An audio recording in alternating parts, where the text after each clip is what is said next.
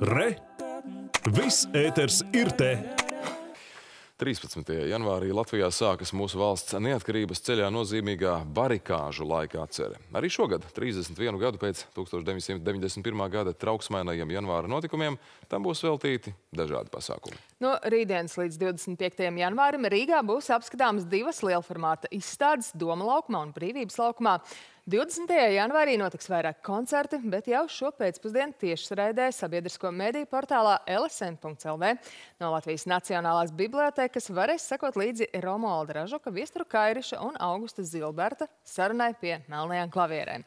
Tā būs trīs paudžu pārstāvju tikšanās, no kuriem katrs barikāžu notikums pieredzēs un pētīs citādi. Jā, un šorīt uz sarunu esam aicinājuši vienu no viņiem. Grāmatas X stunda barikādēm 30 redaktoru Augustu Zilbertu. Labrīt! Labrīt, Labrīt. sveicināti. Ierasti gan ir runāt uh, ar jums kā ar bibliotēkas pārstāvi, ja? bet nu, šoreiz ir tā, ka tie um, amati vai pozīcijas pārklājas. Un redaktors grāmatā esat, kur apkopots pagājušā gada barikāžu 30 gadus konferences, x stunda materiāls. Es gribēju jautāt, uh, ja mēs gadu atpakaļ atgriežamies uh, par šo notikumu, kā tas pārauga grāmatā? Vai tā sākotnējā iecerē jau bija, ka konferences noteikti tiks nofiksēta papīrā, vai tomēr uh, soli pa solim ejot, nu, izsījājās, ka jāliek, jātaisa grāmata? Jā, paldies. Tieši tā.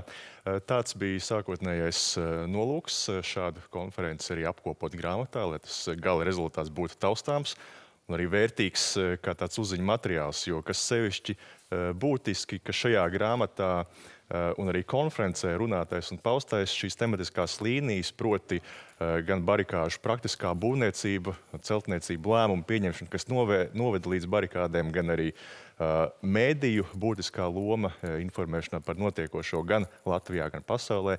Iepriekš plaši līdzīgās konferencēs vai grāmatās nav iztirzāti. Līdz ar to šis rezultāts ir diezgan tāds likumsakarīgs. Par šā vakara sarunu pie melnajām klavierēm mēs jau minējām, ka tā ir trīs paudžu tikšanās, ā, no kuriem katrs barikāžu notikums ir pieredzējis un pētījis citādi. Es atļaušos būt mazliet nepieklājīgi, bet August, cik jums ir gadu? Cik bija, dom- cik bija tāda varbūt tāda? Varbūt vai, vai ir, vai par barikādēm ir arī tādas personīgas un spilgtas atmiņas? Jā, šis eh, noteikti ir jautājums, ko bieži man eh, šajā sakarā uzdod. Eh, Barikāžu laikā man bija viena pusgads, septiņi mēneši. Es diezgan mierīgi gulēju savu vecāku vienistabas dzīvoklī Purciemā, kamēr mans tēvs brauca uz barikādēm, uz Domu laukumu. Viņš arī bija radio darbinieks. Uh, Bet eh, tas eh, man ir ļāvis eh, šos notikumus eh, izpētīt un, un iepazīt citādi caur, caur atmiņām, caur dokumentiem, caur vēstures faktiem, caur uh, kolektīvu atmiņu, laika biedru stāstījumiem un arī caur dažādiem uh, mākslas uh, formātiem. Nu, Tas Jā, nu, man liekas, tas ir vēl jau būtiskāk. tieši tā, Tieši tā, tieši tā. jo um, dažādas paudzes um, un, un paudzes, kas nav pieredzējušas barikādas, noteikti uz to raugās un, un izprot un pēta tās citādi. Nu, jā, tas uh, galvenais, ko es droši vien varu gūt, un arī mani uh, vienaudži, mani laika biedri un arī tie cilvēki, kas šobrīd mācās skolā par šiem tematiem, var gūt ieskatu sajūtu līmenī, no šiem noķert. Bet kas ir svarīgi, ka šie notikumi vēl nav tik sena pagātne, 30 gadi, lai tā būtu tāda vēsture, kas būtu aizmirsta. Tāpēc, ka joprojām ir ļoti daudz cilvēku dzīvi un izvēle katrā ģimenē, kas šos notikumus pier- pieredzēja, kas par tiem var stāstīt, kas par tiem var dalīties tālāk. Un, uh, par to būtu arī jārunā noteikti arī skolās. Es ticu, ka tas arī notiek. un Arī tāpēc skolas šajās dienās ir saņēmušas šīs grāmatas jau e-versiju. Drīzumā būs arī uh, fiziskā versija pieejama. Grāmatas arī var parādīt. Uh, Tātad, lai izmantotu šo informāciju arī uh, mācību saturā, iespējams, kāda piemiņas pasākuma rīkošanā un gal galā. Apzinātos, tāpat kā es, cik šī nevardarbīgā cīņa pret vienu no pasaules lielvarām mazai, sīkstai tautai ir bijusi nozīmīga un izdevusies.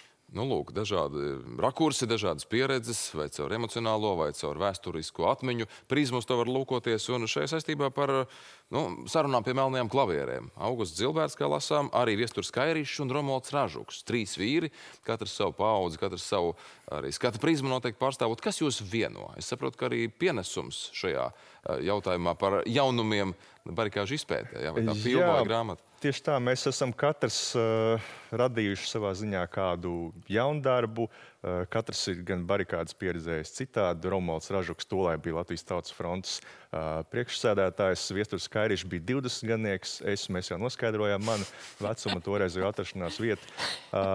Uh, Līdz ar to mums katram droši vien būtu uh, savs skatu punkts, kā, kā par barikādēm stāstīt, konkrēti ar šiem jaundarbiem. Divas grāmatas, filma, kas uh, taps uh, pirmizrādi piedzīvos nākamajā gadā režisora Viestur, Viestur Kairiša režijā, filma Janvārs. Ja.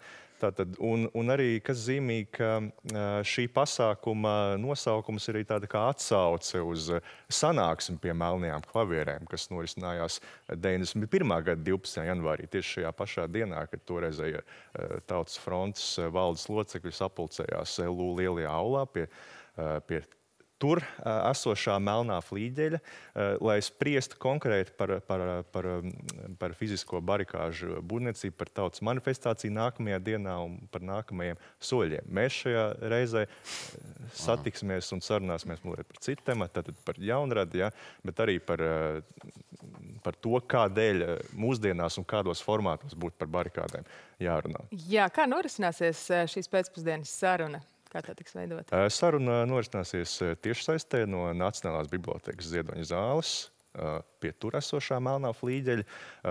Melno flīģeli arī šodien kāds spēlēs. Tas būs mūzikas akadēmijas profesors Ventis Zilberts kopā ar operdziedātāju Jurģi Marcinkēviču. Viņi mēģinās dot tādu barikāžu laika gaisotni muzikālā izpildījumā. Un sarunu vadīs valsts prezidenta padomnieca Sarmīta Elerte, kas arī sevišķi interesanti. Viņa arī šajā grāmatā uh, ir pieminēta un stāsta, jo viņa toreiz bija uh, laikraksta Tiena galvenā redaktora, pirmā vietniece. Līdz ar to, kā jau te ir minēts, kā jau es arī minēju, tad mediju loma bija ārkārtīgi nozīmīga, lai nestu ziņu par barikāžu norisi gan Latvijā, gan pasaulē, lai stāstītu, kas notiek, kur jābūt, kur varbūt nevajadzētu būt, kam pievērst uzmanību, un arī lai pievērstu rietumu pasaules uzmanību neatkarības atgūšanai Latvijā. Jā, un uh, noteikti arī no Sarmīnas Ielērts uzdotiem jautājumiem un sarunas virzības lielā mērā būs atkarīgs tas, kā jūs ko stāstīsiet. Es tomēr nevaru atturēties, nepavaicājis personiski beigās. Nu, tā grāmatas redaktorēšana, jā, būšana par redaktoru. Kā personiski, kā tas, tas gāja? Tas prasīja ārkārtīgi daudz papildus vai tā viegli un ar prieku, kas iegūst? Kas iegūts no šī procesa arī pašam? Personīgi? Jā, nu tas tātad, darbs, kas ritēja visu aizvadīto gadu, kopš faktiski konferences beidzās, tā ķērāmies pie darba klāt. Drīzumā būs arī angļu versija. Grāmatai nu, tas noteikti ir gandarījums mazliet arī pašam pieskarties vēstures notikumiem, mm, kas mani pašu interesē, un arī mm. Gūt to apziņu, ka um, ir notikumi, kuru dēļ mums katram vajadzētu iztaisnot savu muguru ikdienā. Un, uh, ja es neesmu toreiz klāt pie barikāžu notikumiem, varu caur šodienas prizmu, caur grāmatu tam pieskarties, tad uh, tas ir, man liekas, ļoti tāds, uh, vērtīgs uh, ieguvums un ļoti patīkami. Nu, apsveicam ar paveikto Paldies. jaunās grāmatas tapšanā, un, protams, uh, lai šodien gan saruna izdevusies, gaidīsim arī pārējos. Tātad uh, Romalda Ražuka grāmata kaut kad vēlāk, jā, šo, šajā janvārī, un uh, Viestur Kairiša. Uz to vēl būs mazliet ilgāk jāpagaida. LSM.lv arī tieši